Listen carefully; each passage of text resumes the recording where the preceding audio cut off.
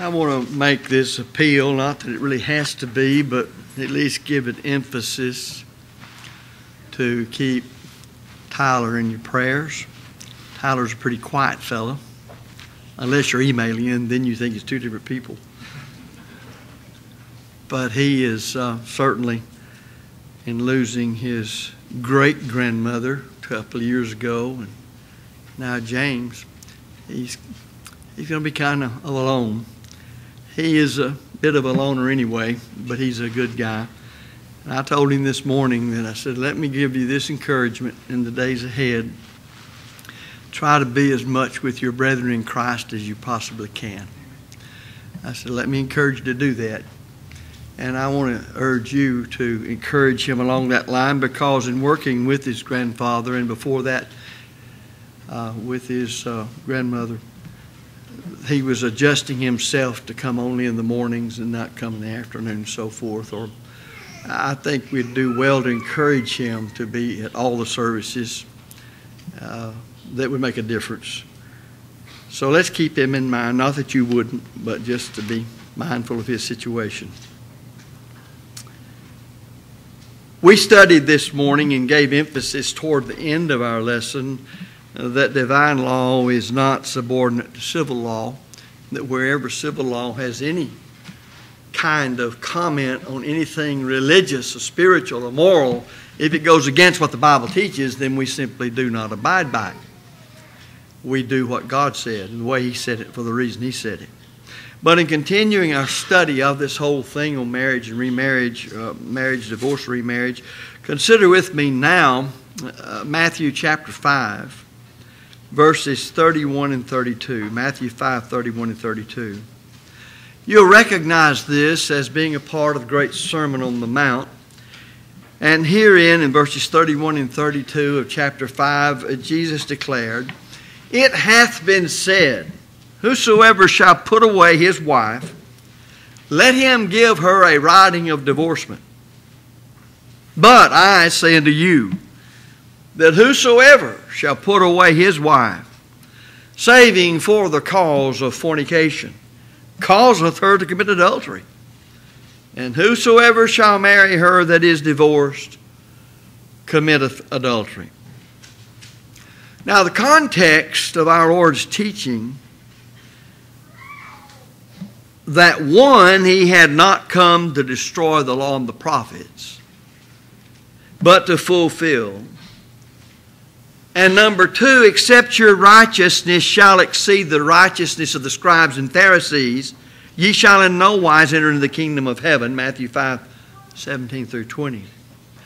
That's the context in which he gives his instruction of Matthew 5, 31 and 32. Now, our Lord Jesus Christ fulfilled the law of Moses, and therefore, at the proper time, the authority of that law was ended. Paul makes that clear in Romans 10, verse 4.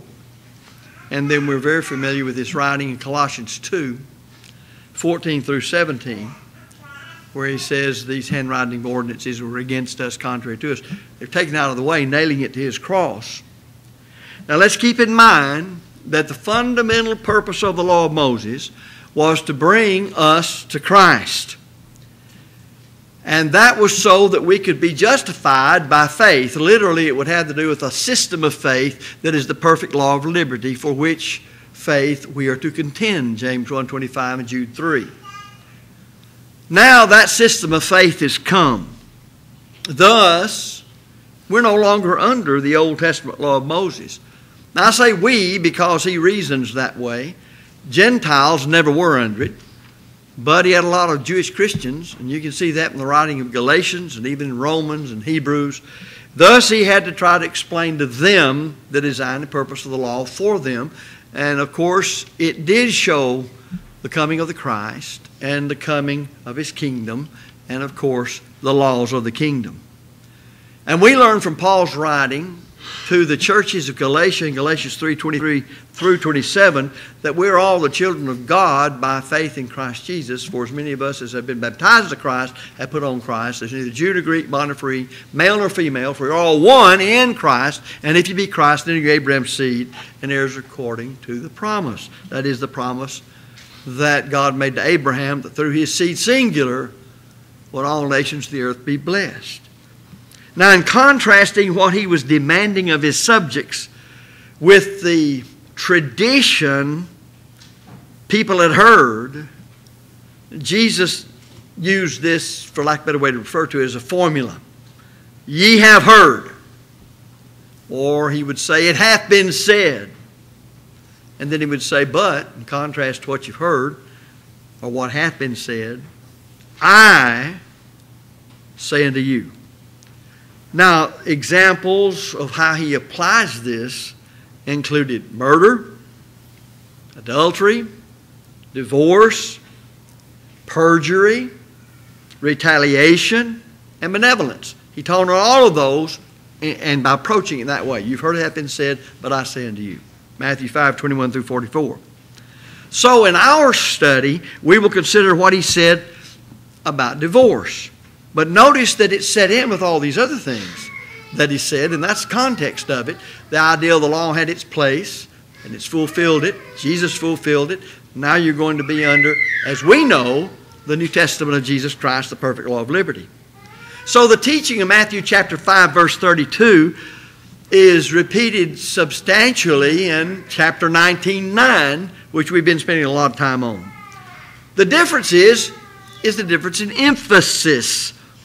In the latter passage, the focus is on the sin a husband commits if he puts away a chaste wife and marries another. In Matthew 5:32 the focus is on the sin that he causes such a wife to commit by putting her away. And remember what we said this morning about the status of women and wives at that time. Remarriage on his part is not under consideration in Matthew 5:32. The wife likewise commits adultery if she puts away her husband, except for fornication on his part, Matthew 19:9, 9, and marries another. As I say again, and I said last week, uh, in Mark's account of this, Mark chapter 10, verses 11 and 12, you'll find that he doesn't discuss the exception. So you have to take all these passages, understanding the subject under consideration, and then in the context, putting them together, come up with the totality of the Lord's teaching on this subject. Notice that he points out, it hath been said. Well, of course, Jesus is referring to what we referred to this morning as Moses' writing in Deuteronomy 24 1 and 2. And here's what he said When a man hath taken a wife and married her, and it come to pass that she find no favor in his eyes, because he hath found some uncleanness in her, then let him write her a bill of divorcement and give it and give it to her or into her hand and send her out of his house. And when she is departed out of his house, she may go and be another man's wife. Now, the Jewish rabbis, as to the grounds of this passage, allowed for divorce. Completely opposite views were held, as I've already pointed out, I think last week, of the rabbis Hillel and uh, Shammai. One championed the liberal and popular view that uncleanness meant anything displeasing the husband. That's where we joke about burning the biscuits. So that was how widely liberal they were. While the other insisted that it referred only to an unchastity or adultery. I think it's obvious that the text falls short of stating specific grounds or setting definite limits when you read verses 1 and 2. The expression under dispute is uncleanness, literally a matter of nakedness, implying shame or disgrace. Now we're trying to understand Matthew, I'm rather Deuteronomy 24, 1 and 2 here. This, of course, uh, was too serious to include such whimsical and uh, frivolous grounds as were upheld by some of the rabbis. You know, this may sound strange, and I may have used it one time, but I remember in Austin, there was a fellow who was trying to see if he could be the preacher down in another town not far from there, and they asked him about his understanding of the scriptures regarding marriage, divorce, remarriage. His response was, What do you all believe about it? Because I can teach it however you want it. Well, that pretty well covers um, the view of some of the rabbis. People haven't changed. There's still people like that. Uh, just let me know how you want it, and I'll give it to you that way. But uncleanness likely encompassed less than adultery, for that was punishable by death. Deuteronomy 22 and 22. But no doubt it had to do with some unchastity. God is always been opposed to adultery. I think it's important to understand, even when he tolerated polygamy, that still, let's say man had three wives, still they were wives.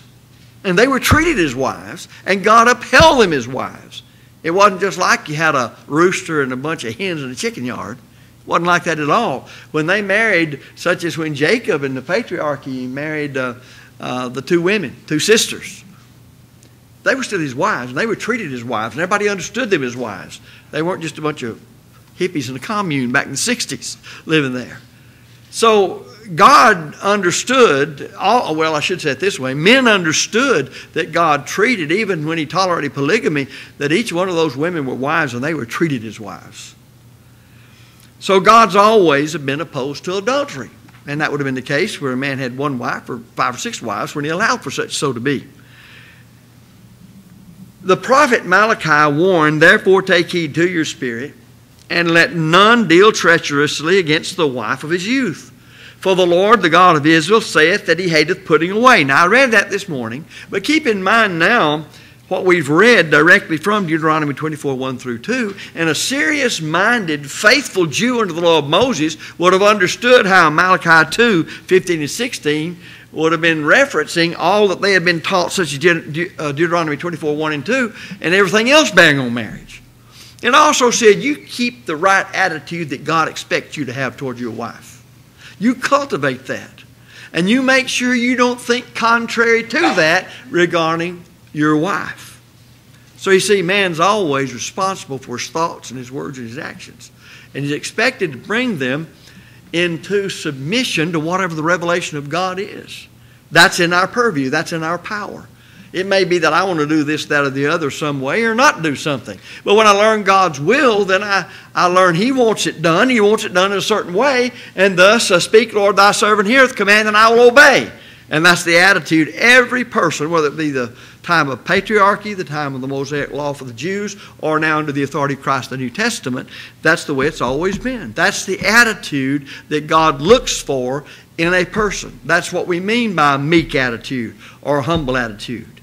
If God has ordained it be done this way, then our duty is to do it. I like the way it was uh, Brother Keeble used to always illustrate it as to how you act by faith, seeing that faith comes by hearing the Word of God. He said, if, if God said, Keeble, you jump to that wall. It's up to me jump, God make the hole. In other words, I do my part trusting in God based on what He said in His Word that He'll take care of those things I can't do anything about.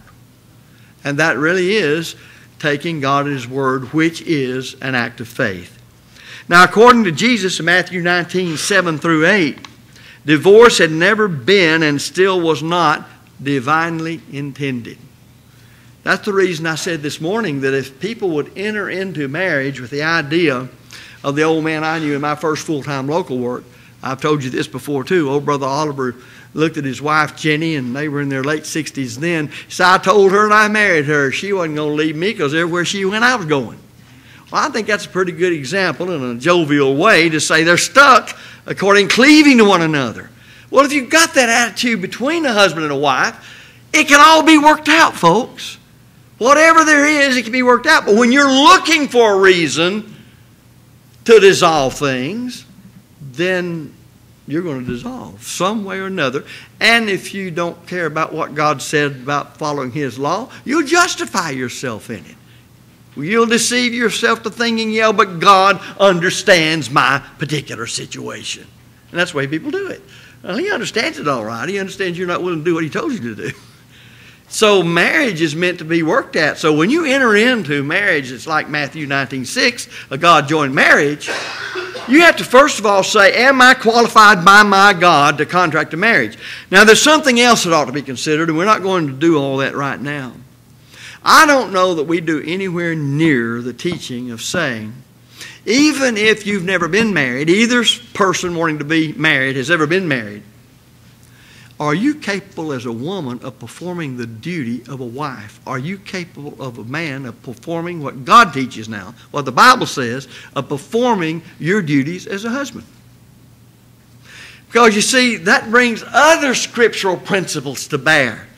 I think over my years of preaching in various places and my association with other people who knew the Bible on marriage, divorce, and remarriage and the obligations of husbands and wives, I think I've seen people who just on the surface were qualified to be married, but otherwise they weren't. They would have done better to stay out of a marriage because they did not have, for whatever reason, I say again, for whatever reason, they didn't have the wherewithal to perform what God says in the New Testament that a husband's obligations are in his role and the wife's obligations. I do not think we teach people along that line because we're so caught up in teaching on what I'm teaching on now. Because the Bible's full of material regarding the role of the husband and the role of the wife. So you may be fully qualified to unite in marriage, but are you qualified to do the work of a husband? Now, that can be for various reasons. Uh, what I'm thinking of, people not even responsible for being able to do certain things. The Bible has a lot to say about that. Well, you think about that further, and as I said last week, back to had Mark raise one question on one thing. Let me suggest, Mark, and I was going to say this here, that you write that down. We'll take care of it when I get through the whole thing. And let's consider what you said. But I would say on this point, if you have other questions, you want to make notes, let's just, when I finish this whole thing, let's go back and take care of your questions because they're going to be based on what we're saying here now, whether you understood or didn't understand or something else came to mind that I didn't cover that would have a bearing on marriage, divorce, remarriage. So, according to Jesus, back to our study in Matthew 19, 7 through 8, divorce had never been and still was not divinely intended. I don't think I emphasize that too much. And Moses had neither instituted nor commanded it, as some seem to think. It had only been tolerated because of the hardness of men's hearts. God knew that he had not got to the point in the history of man and in the cultural and social development of man to where it was time to give him the highest form of spiritual living, the New Testament of Jesus Christ. So he tolerated things. One time God winked at this ignorance. But now commandeth all men everywhere to repent. So, in the development of man and the unfolding of the scheme of redemption down through all those many years, obviously God said, at a point out there in the future, I'm going to have this is what they must do. But right now, as it develops, I'm not going to hold them as strictly accountable. And if that's not what uh, one finds in Acts 17:30, I don't know what it means. It's obvious that during time in history, some things were bound and other things loose, but there was a point out here where that's no longer the case. That I will not tolerate those things any longer. And you got Jesus doing that when immediately in Matthew 19 9, he refers them back to the origin of marriage, back in Genesis, and doesn't deal with the law of Moses. And that seemed to surprise them. So, because of the hardness of heart, men's uh, deviations from God's complete way was tolerated. And evidently it was to, and this might give some thought to other things. Evidently that was to prevent some greater evil in a culture where the rights of wives were often not recognized, this allowance was no doubt to favor her as much as possible. It was for her good. It served to protect her from the abuses of impulsive and unceremonious expulsion from her home and children, and to provide her with legal proof of freedom to remarry should she be put away. Then he says, But I say unto you. So Jesus is going beyond Moses. And he's setting specific limits. he's announced restrictions in substantial agreement with Shammai's interpretation of the law. Permission for divorce because of fornication was implied. Since the essence of marriage is one flesh, singularity between two, a man and a woman, and the union is for life, fornication is a fundamental breach of the marriage contract. It's a fundamental breach of the trust that each spouse is to have in another as they have committed themselves to God and to one another. If a woman should commit adultery after her husband has put her away for any cause other than fornication, he would be partially responsible for her sin by placing her in a position to be tempted. Now, if she married again, she would be guilty of adultery because God did not recognize her as divorced. Likewise, whoever married her will be guilty of adultery because, in reality, he would be taking another man's wife. Further, uh, both parties to the new marriage would be guilty of adultery. The husband who put away the woman would also share in her guilt, for he put her away. But not for the scriptural reason of her fornication at the time that he put her away.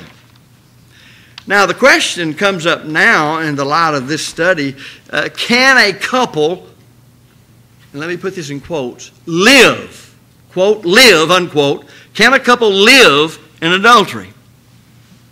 It should be pointed out that the partners in a forbidden marriage, notice a forbidden marriage, God forbade it. They don't have a right to marry. A Matthew 96 marriage. Should partners in that kind of marriage, a forbidden marriage, live in adultery? Sin is an act. Sin is an act. But if it is unforgiven and persisted in, it also becomes a state in which one is said to live.